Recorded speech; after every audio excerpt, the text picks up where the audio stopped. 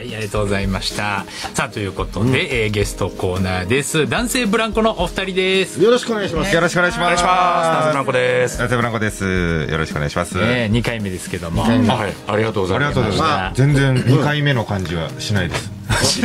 何回目の感じ？もう、4。4回、4回。そのぐらいだったら。2回目2回目じゃあ2回目です。2回目ですけど。キングオブコントにね、はい。あの、去年準優勝だったんだよね。あ、そうです、そうです、はい。そうだそうだ。ら本当に今年さ、優勝候補だったじゃん。いや、そうなんどうしちゃったのよ？いや、あの、本当に、あの、くしくも、準々決勝で敗退という、ね苦汁を飲まされまして、煮え湯と苦汁を。ね、本当だよ。まマスクのこう細くない？これははい僕もそうなんですけどこれ、これもう今ちょっと大流行りと言いますかね。無無限大で大流行りらしい。何これ？はい。これあの、本当に、ピアノ線みたいなね、紐だよね。これもう全く痛くないんです。嘘僕本当に耳がもう本当にすぐ痛くなるタイプなんですけども、これにしてからもう全くそのストレスはない。だって太い方が痛くないんじゃないの？いや、柔らかくなる。そうだよね。これすごくて、その、体温でちょっと伸びるんですよ。え？ー、で、ちょうどいい具合のとこで止まってくれる。その人に合わせたそうそうそうそう。長さでこれあの、そいつドイツの市川刺身が自ら発見してきた。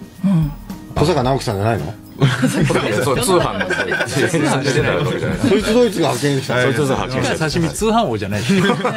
これを見つけてきてくれて、そこからもう今大阪まで伝わってきてます、これ。吉本芸人でもはい大流行り。そうですね若手の人はい、たちは若手はもう。みんなこれしてる？あ、そう。そうそうそう。全高くない。の？それ。これもまあ30枚で1000円1000円ぐらいであ。ちょっと普通のマスクよりは高いんですけど、でももううん痛くならないんで。えもうキングオブコント敗退のニュースは耳が痛かったよ。あちょっともえう、うまいな、もう。やめてください。ちょっとうまいこと言うのにちょっと乗り出しすぎない。アクリル板に一番まさにちょっとあ合ってない。あの、一緒にライブやってたさ、はい。あの、あの、枠坂さん？あ、枠坂さん、はい、はい。あの僕らの単出した本のね、本の、そうだそうだ。一緒に作ってくれた作家さん？はい、作家さんね。も。していただきま男した。性ブランコとずっと一緒にやってて、そうなんです。あーそっか。去年準優勝で今年はもうね、優勝候補ですよみんな言ってたから、あ枠坂さんもすごいショックだったみいたい。やーそうです。そうですね。一緒にショック受けてくれて、本当にもう申し訳がないです本当に。ーまだ M1 があるから。ね。M1 いやもちろんもう頑張りますから。もたいですけどちろん頑張って切り替えて。そうですね。僕ら本当にあの落ちあの準々決勝の発表の日に、うん。あの僕らバイク川崎バイクさんの単独のゲストやったんですよ、でも落ちたっていう結果を知ってん。本番を迎えて、でオープニングでバイクさんがルミネでその宙吊りにこうファーッとされてそう 中でそれを見たお客さんがわーってのを見てお笑いって素晴らしいなと。思って落ちたけど。落ちたけどあんなこんな楽しい食料。バイクさんが宙吊りでなどうでもよくなった。もう本当にそれでもう切り替え切り替えれました来年もあるしね。はい。そうだよね。言われたね。そうですね。やっぱお笑いは宙吊りになったの？そうです。あのルミネでもうオープニングでもうスタッフさんの人力で。会場 で裏で引っ張ってグーって引っ張って ライブなんですキーやって浮いていくっていう最高のオープニングでした 堂本光一さんばりバリにもうめちゃくちゃ宙を何？さあ、この後たっぷりと、えー男性ブランコのお二人お話聞いていきます。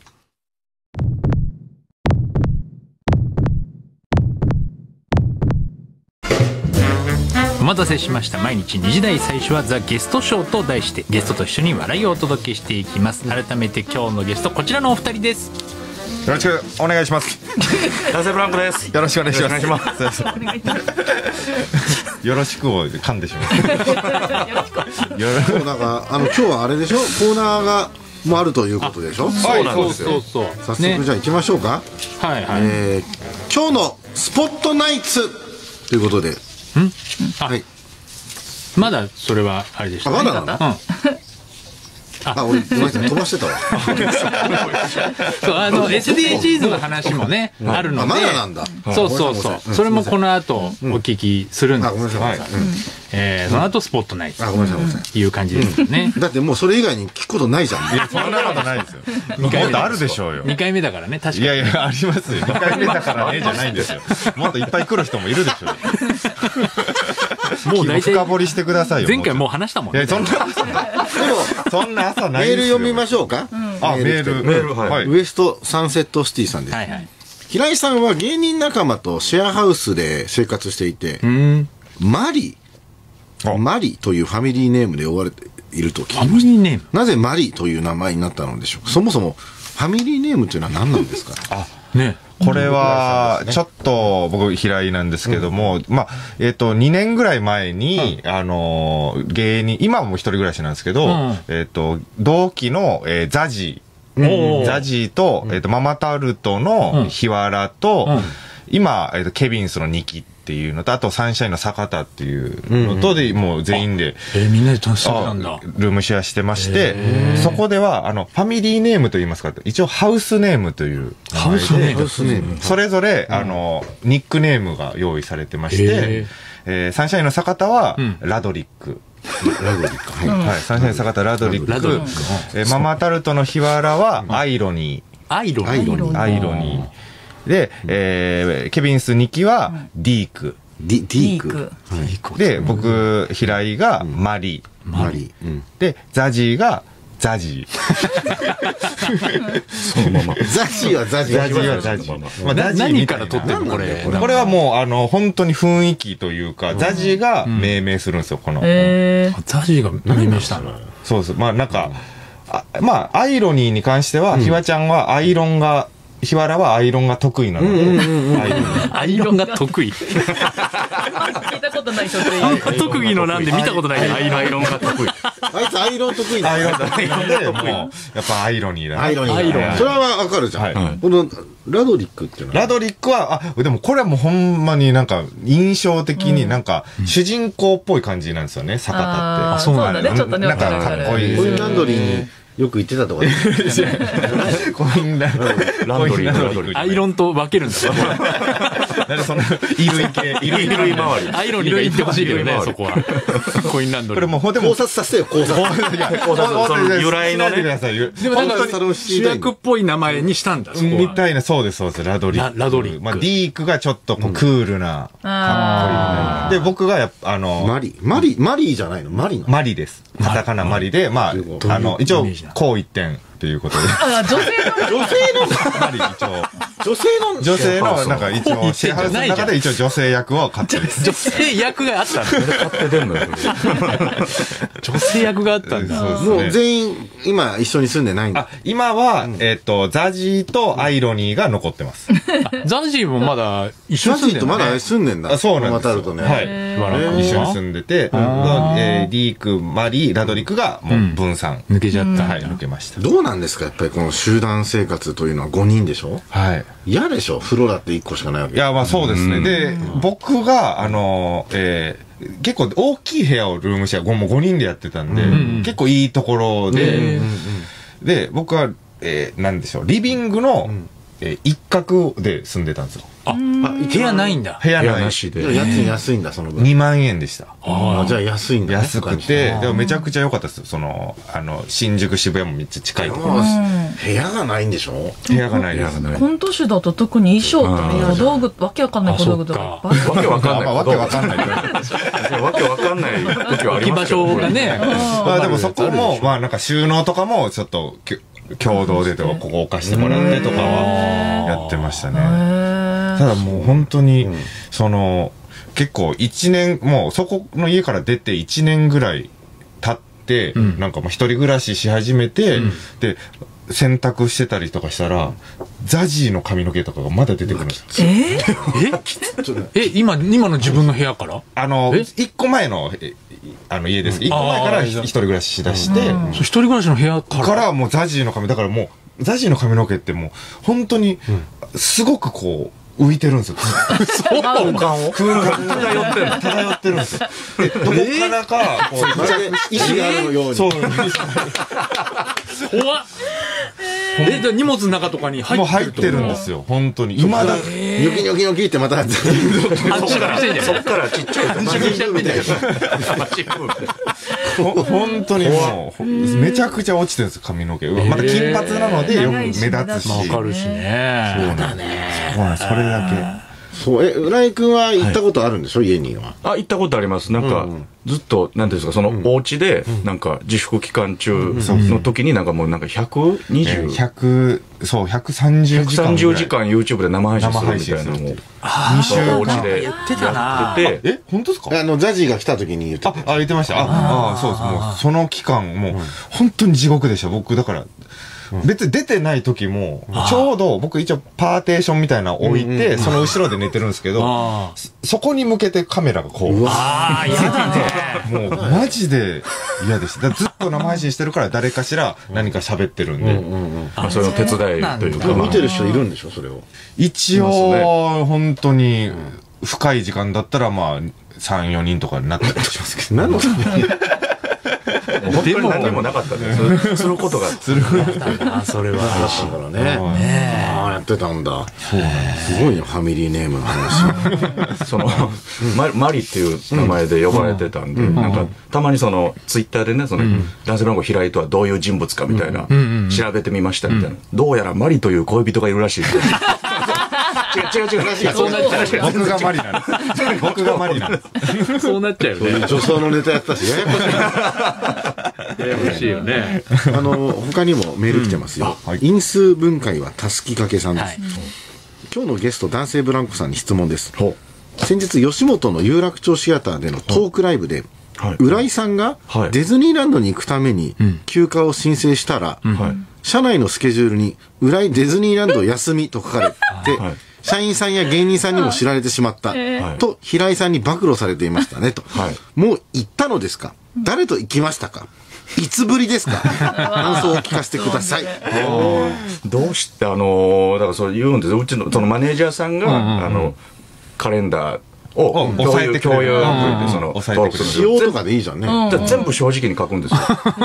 その、お親知らずでちょっとこの時間取りたいのだったら、裏へ親知らずバッシュでその書かなくていいですよ、そんなそうね でいいじゃんいや僕も、だから、あ、今、親知らずし抜歯してるんだなって思こいました。こいつ今泣いてるんだなっていうのを、なんでそれ相方に教えないといけない。恥ずかしいねそれねいや、そうですね、ディズニーランドもディズニーランド書かれんだ書かれてましたよ、裏へディズニーランド。浦井ディズニーランド。抑えって書いてあってます。それは、それこそ、それこそ枠坂さんと行きます。あ作家さんと？はい、作家さんへと何人かで。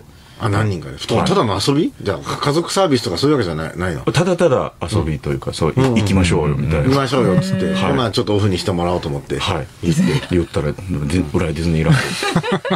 忠実。そう。まあ、やっぱり、夕方にライブ入れられないもん。その全部プライベート。全部、吉本の社員さんに教えなあかんですよ あなんか吉本ってさ、あんまりこの一人当たりさいっぱい芸人さんをやってるから、はい。俺なんかあんまりもっとなんか適当なのかなと思ってたんだけど、はい。ちゃんとその言えばオフにしてくれるんだね。なんかもうそういうのなんか話通じないのかなと思ってマネージャーいや、でも、全然、あそうなんだ、はい。まあ、もうちょっと若手は厳しいかもわからないですけど、私たちぐらいの気になったら、まあ、じゃ昔よりは減りました。あの、担当の人数が。そうだよね。うん。昔やっぱね大変だったでしょ。何十ね組でしたもんね。昔は一人のマネージャー。今はもう違うの？今は僕らは6組。6組ぐらい。6でもすごいけどね。誰？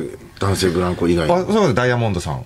え一緒なんだあ、一緒マネージャーです。さん一緒です。ダイヤモンドさん、まあ、ユニバース。ユニバース。うんそう、そいつ、ドイツ。うん、そういう、そういう。スクールゾーンだから僕らのキートぐらいですかね、多分。人は3名あの。あなるほどね、はい。そうなんだ ICT スタートもじゃあ何組かいるの、私のまたマネージャーは3組ですかね。私たちとおかずクラブとおばたのお兄さんです。あそう、はい。じゃあ最近あのマネージャードラマに売り込んでるね。おばたのお兄さんよくドラマ出てる。そうですね。ドラマとか舞台とかの仕事舞台よくやってましたよね。はその流れで来るかもしれないねじゃあね。い。どうですかね。ケイちゃんにも。ケイちゃんにも、あそうか、そういうことね。そんな吉本のマネージャー事情も聞いた。と 一旦お知らせ。この後じゃあ SDGs について。そうだね。はい。お伺いします。よろしくお願いしますサンナイズザラジオショー火曜日です。今日のゲストは男性ブランコのお二人です。よろしくお願いします。お願いしお願いします。それではこちらをお送りしましょ今日のスポットナイツその2う。その2ではない。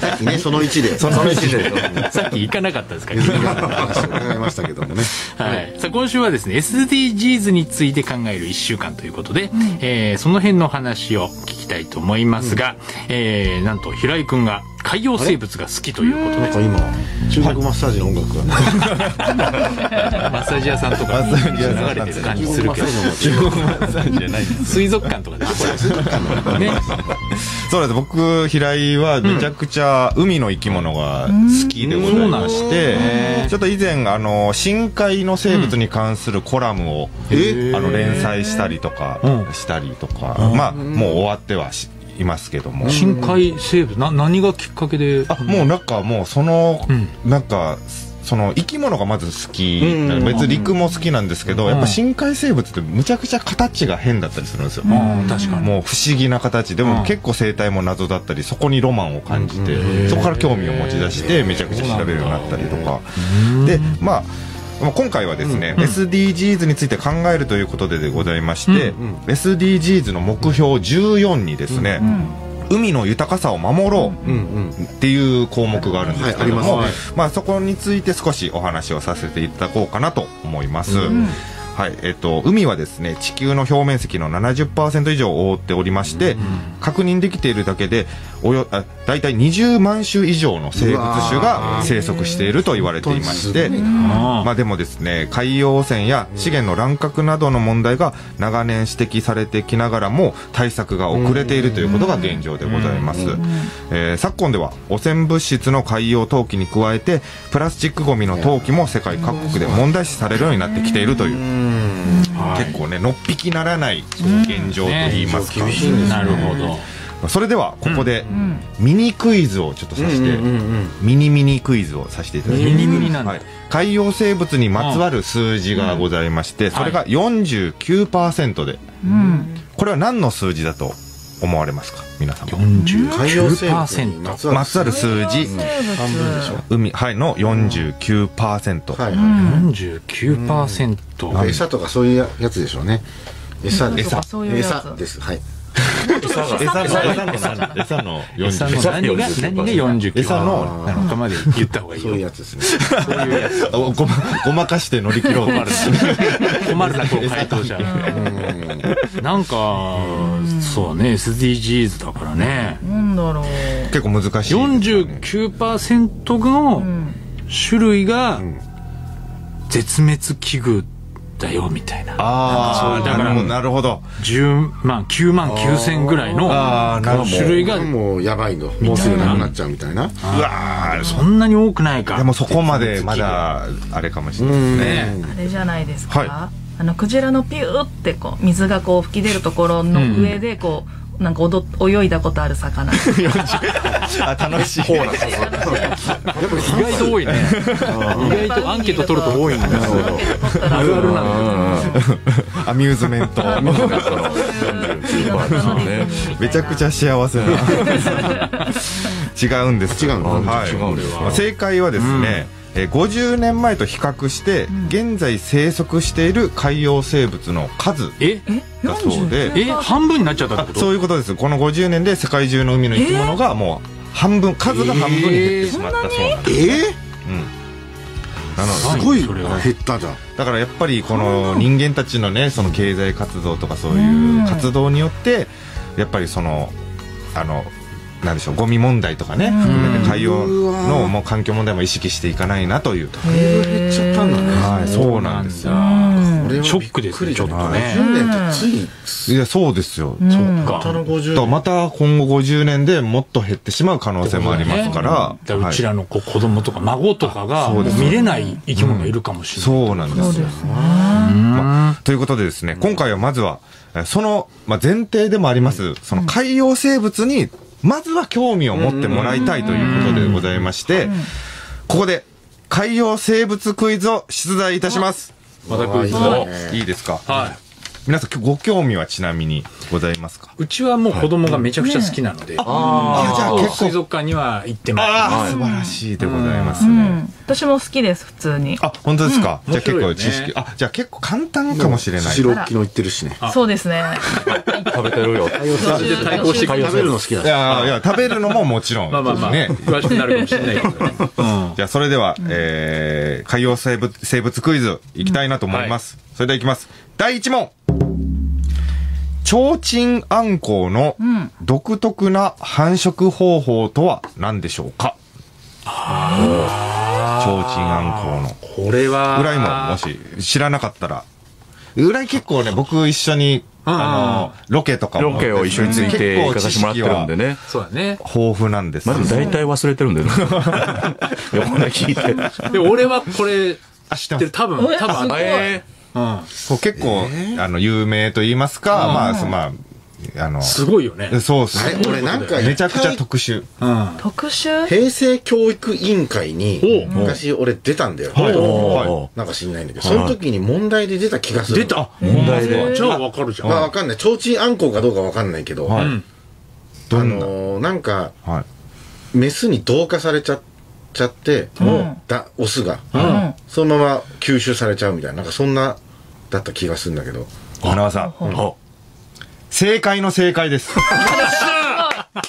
大正解。正解。の中の正解で正解の中の正解。正解。すすごいすごいじゃん。そうですそうでしょ。ねえ。そうなんですよ、まあなんかメスがまず体長が40センチか50センチあって、メスがでかいんだ。メスが大きくて、オスがもう5センチぐらいなんですよ。大体。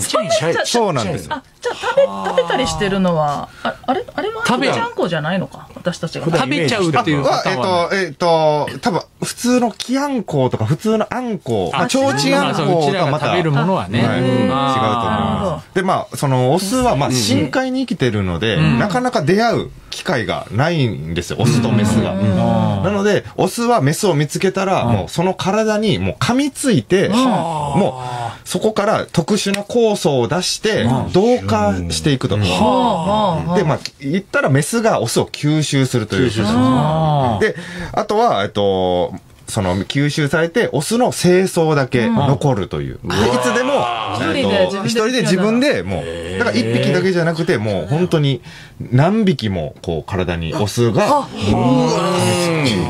モテるメスはもういっぱい。そうそう、あがついてる。そういうことで、だから、同化してる。メスがもう頂点に君臨してるという。なるほどね。チンコがいっぱいついてるから提灯みたいな超超チン。超チンじゃない違う違う早口に超チン。注意、注意された。ダメですよ思いついても言わない方がいい。素晴らしい。でもね、素晴らしいでございます。ありがとうございます素晴らしい。面白いね、やっぱ海洋生物は。じゃあ続もうい一問あるて、いいですかお続いていってもいいですかはいじゃあ、第2問。はい。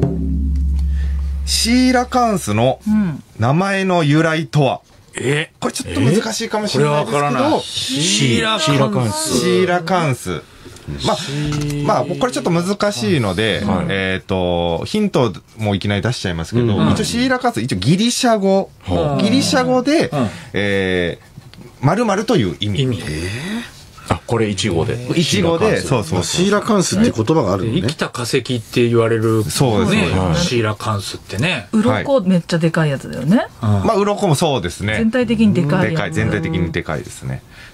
でも、あの、本当に特殊な体を、その体の特徴ですね。体の特徴。体。のシーラカンス体の特徴。ちょっとパッと見では、見、見、見え？見れない、中、え？中の？中の特徴があるんだ。はい。これちょっと難しいかな？ギリシャ語。ギリシャ語で？これ難しい。そうだから何、腸がないとか？あ、でも、いいラインですね。え？いえ？い、いいラインですけど、いいライン？いいラインですけど、腸はございます。超骨、骨なし。お骨なしえおえおおおえあでも、骨、厳密には違うんですが、惜しいです。惜しい。骨、骨に関する。骨に関する。骨？骨に関する骨に関する。骨に関関節がないああ違う違いますねう。わこれはわからない。これちょっと難しいかもしれない。